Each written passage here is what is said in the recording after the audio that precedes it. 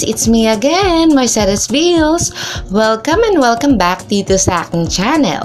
Hanap mo ba ay kakaibang flavored na naman ang puto? Pwes, sa video na to, ituturo ko sa inyo ang ibang flavored na naman ng puto na sure na sure akong magugustuhan nyo din.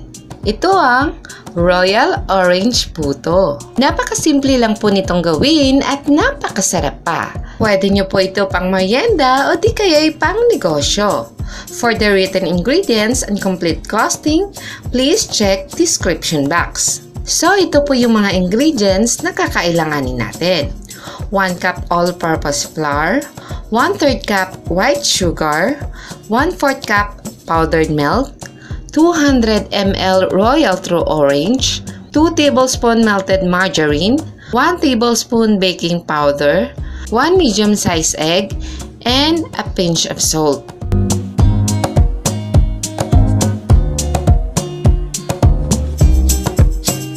So tara, let's start! First, combine muna natin ang ating mga wet ingredients and other dry ingredients. Starting with our egg, 200 ml royal orange, 2 tablespoon melted margarine, 1 3 cup white sugar, a pinch of salt to balance the taste and to enhance the flavor of other ingredients, and 1 4 cup of powdered milk.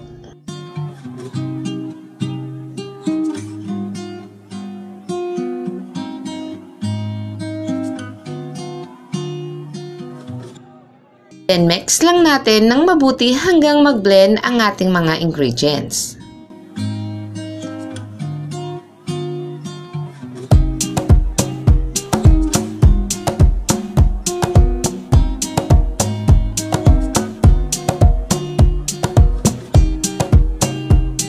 Next step, add naman natin dito ang ating remaining dry ingredients. Sip lang natin ng ating 1 cup all-purpose flour at 1 tablespoon baking powder.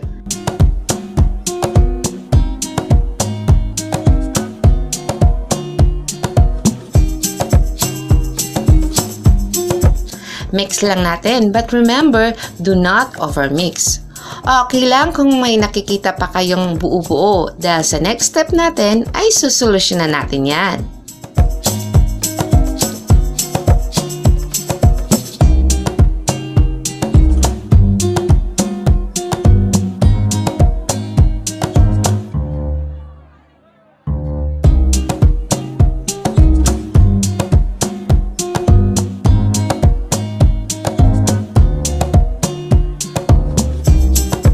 Next step, strain na natin ang ating mixture para matanggal yung ating buo-buo kanina.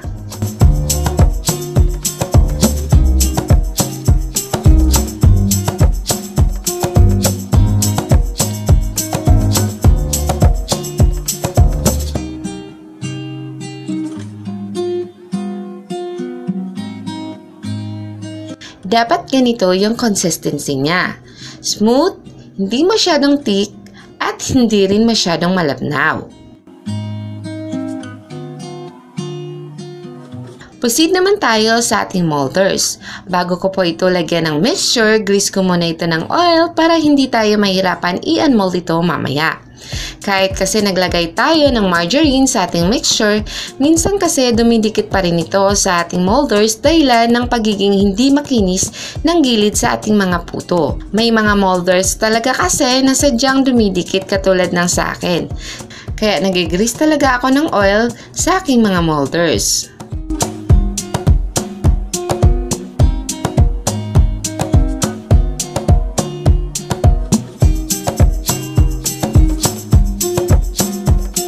Next, sa paglalagay naman ng mixture sa ating mga molders, ang gamit ko dito na molder ay medium size.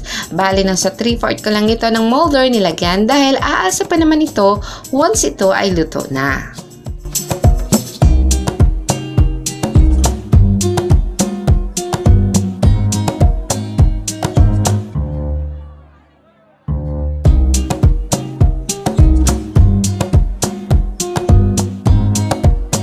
Sa paglalagay naman ng ating molder sa ating steamer basket, make sure hindi nakadikit ang ating mga molder sa gilid ng ating steamer upang maiwasan matuluan ito ng tubig.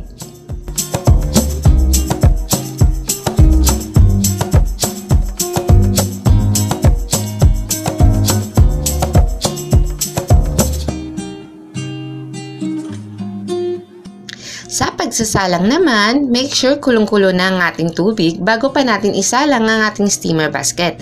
Pakuluan ito using high heat. Dapat below half lang ang tubig ng ating steamer. At once na isa lang na natin ang ating steamer basket, pahinaan ang apoy using medium-low heat. Tapos steam natin ito for 10 minutes.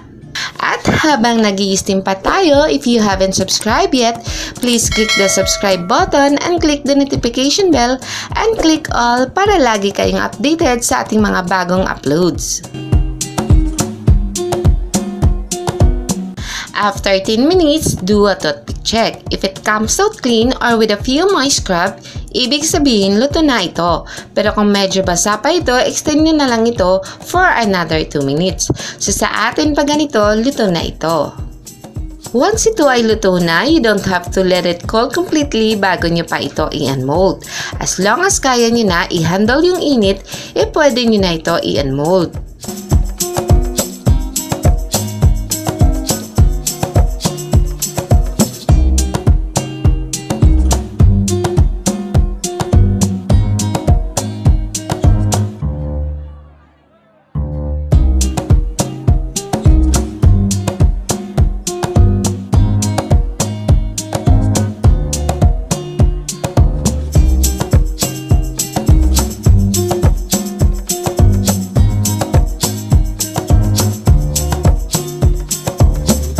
O, uh, diba? Napaka-soft and fluffy ng ating Royal Orange puto.